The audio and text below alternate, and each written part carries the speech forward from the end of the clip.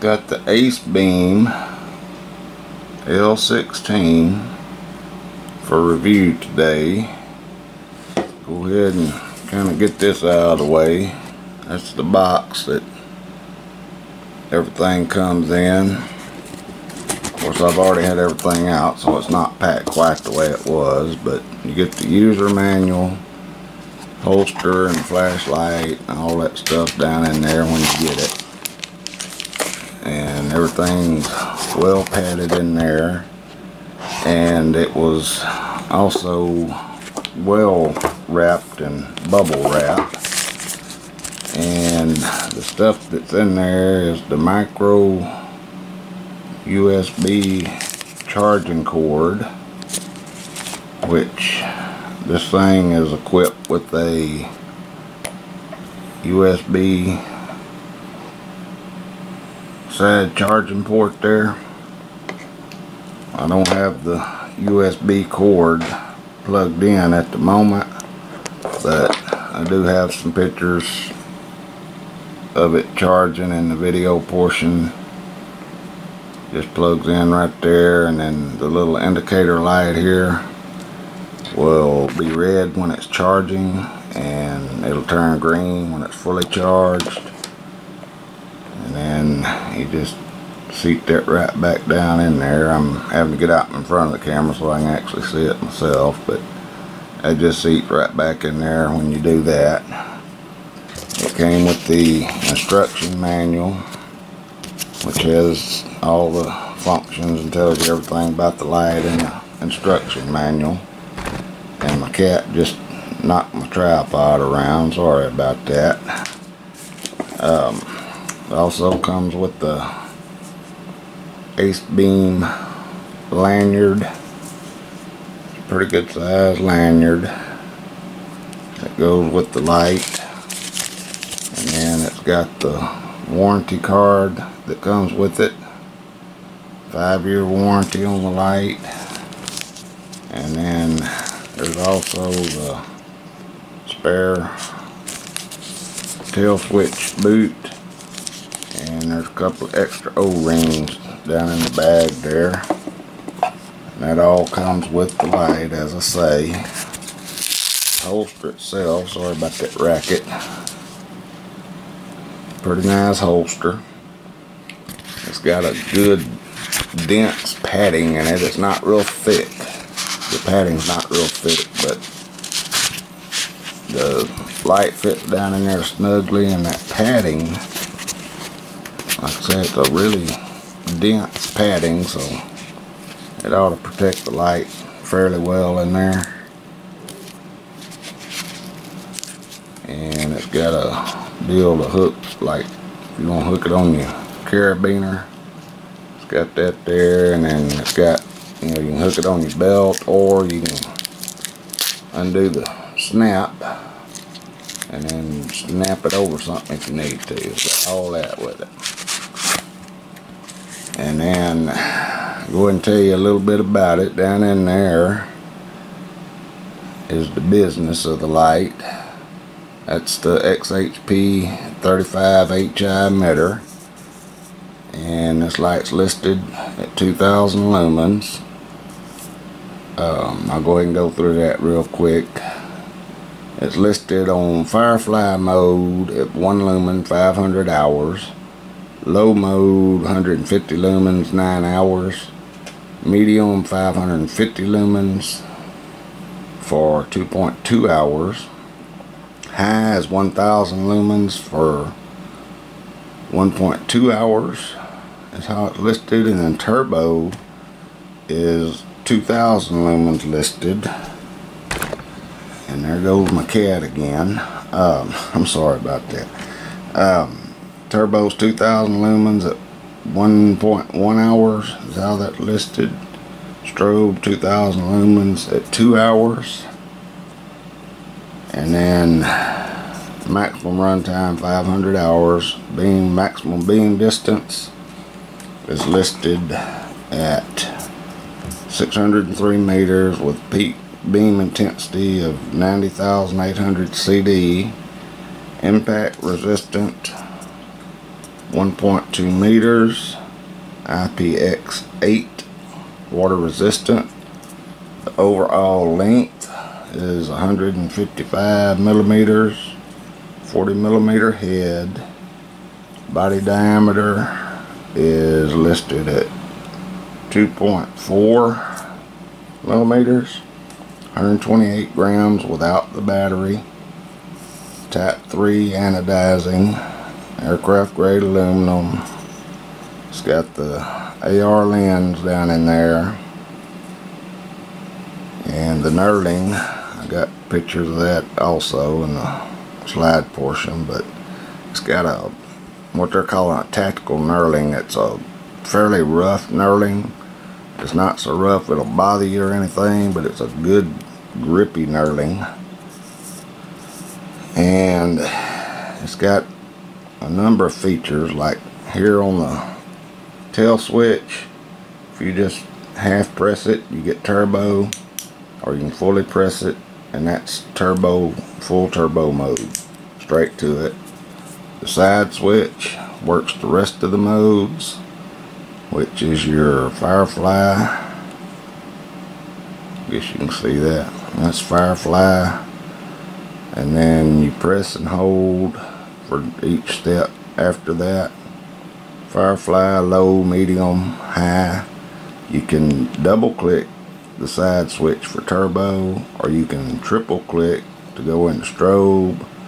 A quick single click turns the light off and if you press and hold the button for three seconds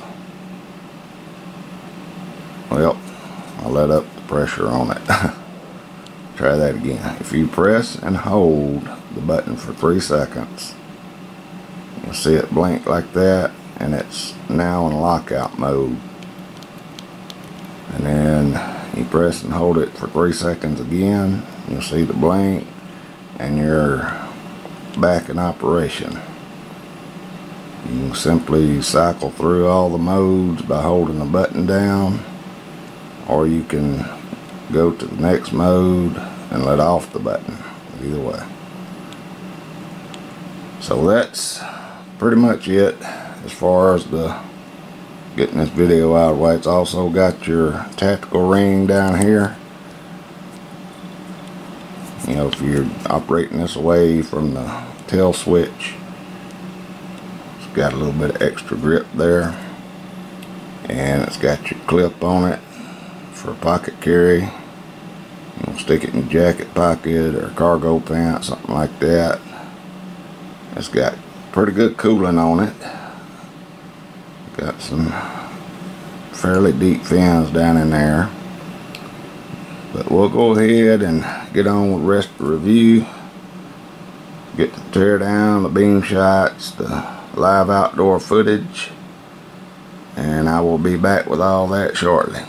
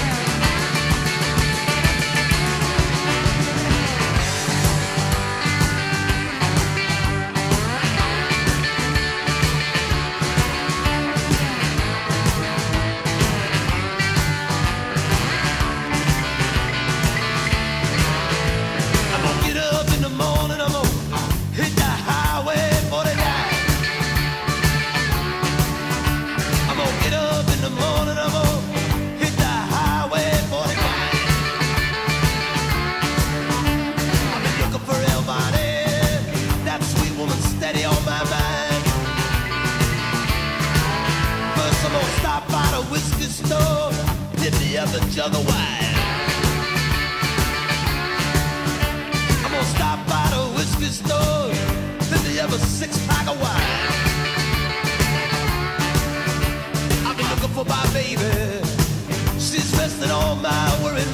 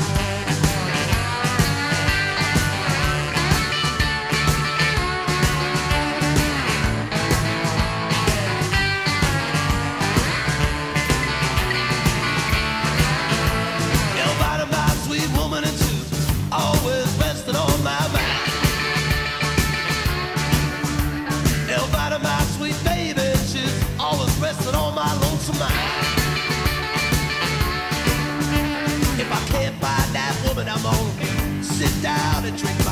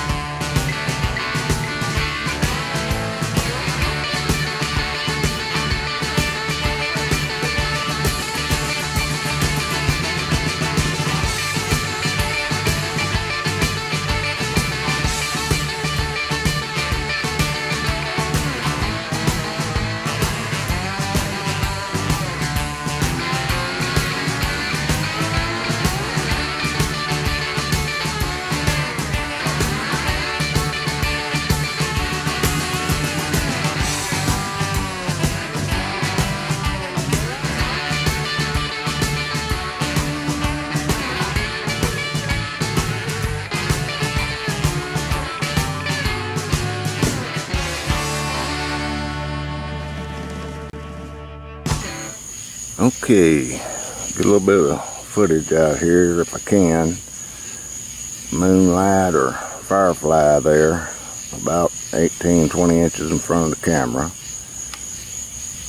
And we'll go ahead and go up to low mode. And that tree there is probably about 20, 25 yards out. And then the medium mode, those trees there are about 70 yards. As you can probably see, I'm out here in the sprinkling rain trying to do this. I've had fog or rain or both every night, so I just decided tonight the least of what we've had, and I was going to give it a try to see if I can get this video done. And then that's high mode there. The mist is kind of bad along with this rain, so I don't know how good this video is going to do. And then there's your turbo mode. And I also have brought the, well, okay, that's the turbo mode. And I brought the Convoy L4 out here. Any of those familiar with it? It's just about the same size, light. If you can see both of them there. But anyhow, the L4, Convoy L4, is on the stock driver. And the only thing that's been done to it is the emitter's been de-domed. It's got XML2 U2 in it. And there's the L16 beside the L4.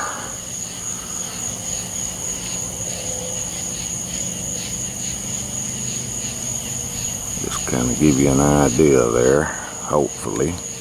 Like I say, this rain is kind of messing with everything. Uh, brought another little old light out here. Might be able to show a little better with my headlamp on. This is the Zen TD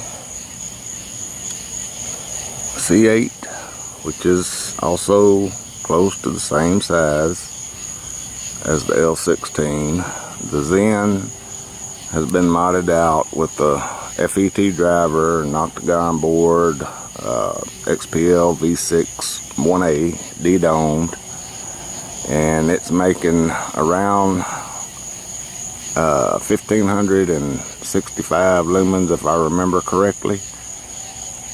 And something like 6.2 or 6.3 amps at the tail. But there's the Zen And there's the L16 beside it on the right kind of go across there with those two This just don't look like it's going to be a real good video out here in this rain either. I do have a little umbrella propped up over the camera though, in case y'all wondering about that. I'm not out here ruining my camera anyway. but that's the uh, Zen TD. I'm sorry, I went blank a second. And that's the L16. Then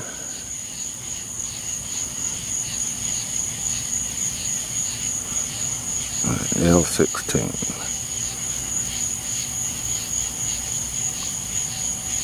I don't have a good direct comparison for this light is why I'm having to do it this way. I don't know if they show up down there. But it lights up them deer out there about 90 to 100 yards away. Maybe you can see them in there through all the rain. There's three of them, one over there and two back over this way. But now I'm gonna get on that tree there. If it'll pick it up through all this about 110 yards. That tree that's just to the right of that light out there.